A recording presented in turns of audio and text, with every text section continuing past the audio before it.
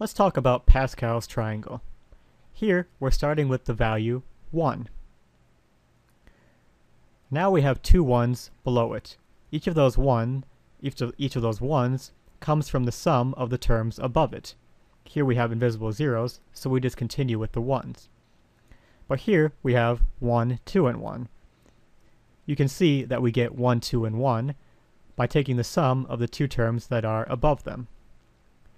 We continue this pattern on and on, and on and on, and on and on, until we have something called Pascal's triangle. Now, what is Pascal's triangle?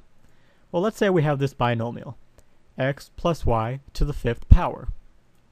That's the same thing as saying x plus y times x plus y times x plus y times x plus y times x plus y. We can use Pascal's triangle to expand this quite easily. You know, instead of applying the FOIL method over and over again, we can just use Pascal's triangle. Here, we have x plus y to the fifth. That means we're going to start here on the sixth row. That's because our expansion is going to have n plus 1 terms, where n is our degree. So here, we write out the expansion of x plus y to the fifth. You might be thinking, you know, wow, I did all that work really fast, but actually I didn't. I'm just taking these values from Pascal's triangle.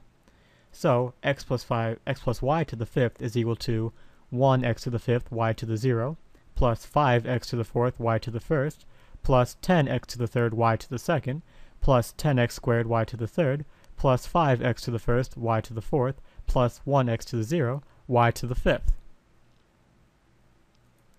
Our first terms, our x terms, start from our degree 5 and go downwards to 0. So you can see from the red arrows, red arrows that they go from 5, 4, 3, 2, 1, 0. The y's are the opposite. They start at 0 and go up to 5. So they go 0, 1, 2, 3, 4, 5.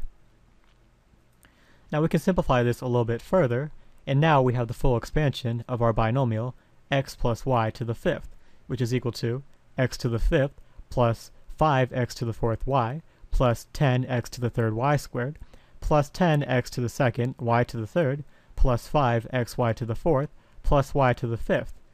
Except now, instead of having to do all that work with multiplying over and over again, it would have taken a long time.